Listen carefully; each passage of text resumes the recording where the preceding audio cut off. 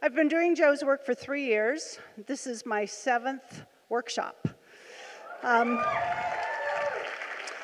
and I will be back here in June again. So, what happened was in April of this year, I got a um, blood clot in my leg that broke off and went into my lungs. And um, I'd had some blood clots in my leg before, so I thought I knew what to do, and I was looking it up on the internet to just kind of figure do I put hot or cold on it? And I saw one sentence that jumped off. I'd been feeling something in my lungs, thinking I was getting sick, and a sentence jumped off that said this can break off and go into your lungs. And I knew that had happened, so I called my doctor, and he said, Get to the hospital. I never did really understand how serious this was. So I went to the hospital with my iPad thinking I'd be there an hour and go home.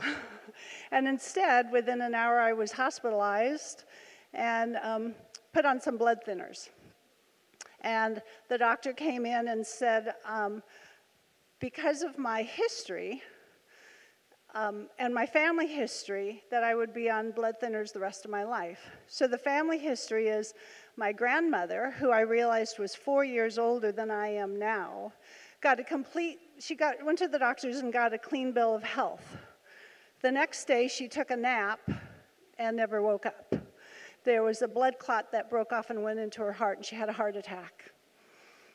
Um, my father, that was my father's mother, and my father had a, um, he fell and got a blood clot in his leg that went up into his lungs, and it contributed to his death. It didn't cause it, but it was one of the factors. So when I explained those two things, plus the fact that I'd already had about three blood clots, they said, What you've got is called factor five. It's a blood clot disorder. And it means you have to stay on blood thinners because they don't want your blood clotting, because it often does. It breaks off and goes into the lungs, the heart, and the brain. None of which do you want. So um, I'm not real big on medication. And when I went to my doctor, and he said the same thing because of your history and your family history, you have got to be on Xarelto the rest of your life. And I said, absolutely not. There is, there is no way. I said, there must be something alternative. And he said, and we went back and forth.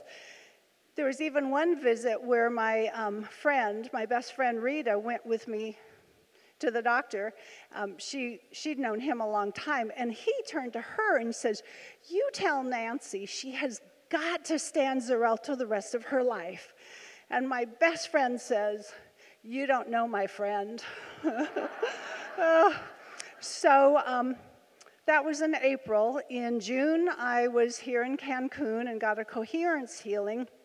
And I had started doing the meditations much more regularly because I don't know about you, but I lie to myself about how well I'm doing and how often I do them.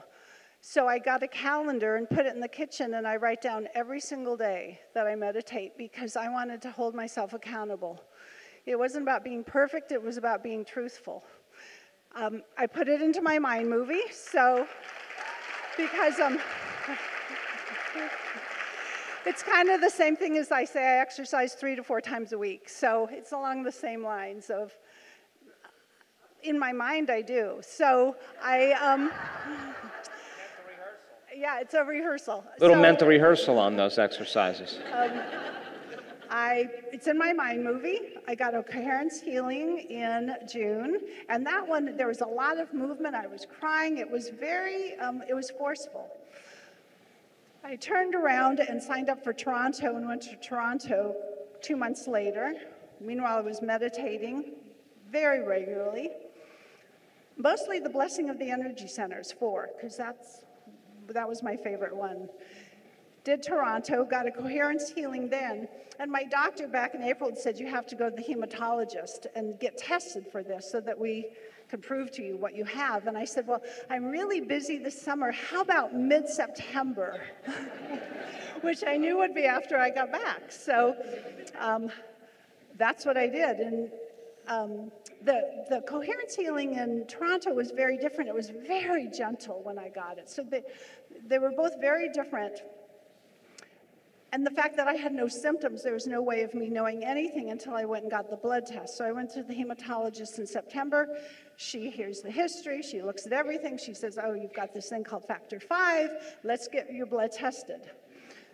So um, I did. And a couple of weeks later, I went back to her for results. And I knew, I just was so clear that my body was healed because I had been talking to it. I'd heard testimonials, and the ones in June last year were, this year were amazing. The Parkinson's and the lady with tremors for what, 30 years gone? I mean, and I was talking to my body going, listen, body, these people are healing cancer and they're healing Parkinson's and they're getting out of wheelchairs.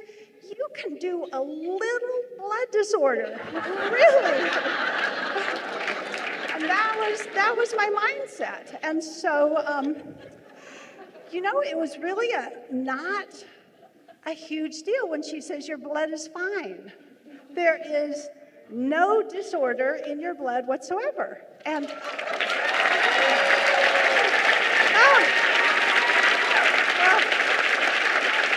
um, I, I was really proud. I was really proud of myself. And I, she said, You can get off the Xarelto, which had been all I wanted. And I said, Well, how? Or is there? And she says, Just stop taking it right now, and it's done. So um, I'm so, so pleased. And there's more. I'd forgotten to even write it in the note. I've been working on my thyroid because I have a thyroid, TSH, the thyroid stimulating hormone. Numbers have been going up um, because of some thyroid work I had done a year ago. So I've been picturing them. It's part of the mind movie, right where I want it. And during the same time, that number turned around without medications. So it's headed in the right direction. yep. And um, I get it tested again next month, and I thoroughly expect it to be at 2.53 because I wanted an odd number that I would know I was doing it. I was having an influence. And there's more. One more thing. So before I came here last week, a couple of days before, I got quiet and I said, So, what's my intention for Cancun? What do I want? And then I had the most amazing realization. I have been in a battle with food since I was three. That's a long time. um, it's a food addiction chocolate, sugar, flour, the works. And um, I have known in my soul that there was a way that this could be healed. I've known that for 20 years, but I never knew how. I just, I didn't want to, it's not diet. I just knew there was a way that this could be done. And so when I got this idea of I'm going to rewire my brain, and I. I like it. I love it. So, um, it's not happened yet, but I'll be back in June. I can tell it's the chaos, you know, the disorder. I'm hoarding, you know, out of the um, the mini bar. Every day I take all the chocolate and put it in my drawer so they'll refresh it. And um,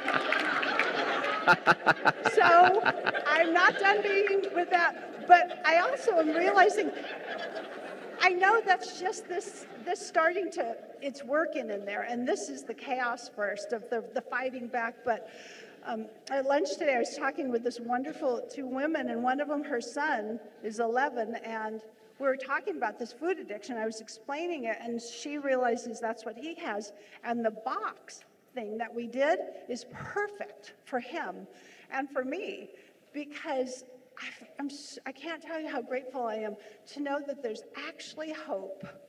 Not, not even hope, there's like the guarantee that this can happen. And I don't want to leave, leave this lifetime having never really done this. This is a big one for me now.